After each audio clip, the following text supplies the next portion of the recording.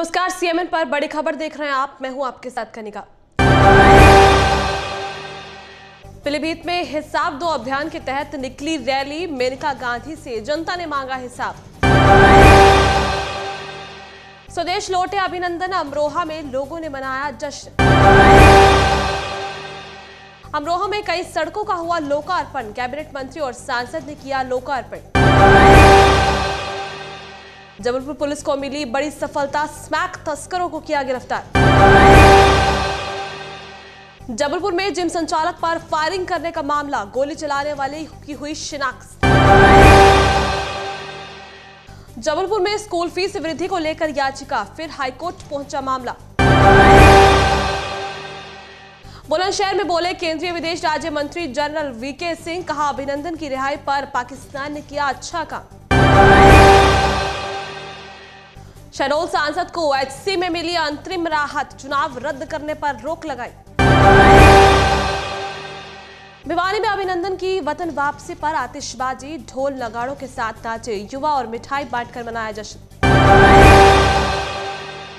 Indoor अवैध अतिक्रमण को हटाने के लिए ग्रामीणों ने दिया कलेक्टर को ज्ञापन, जल्द अतिक्रमण हटाने की की मांग।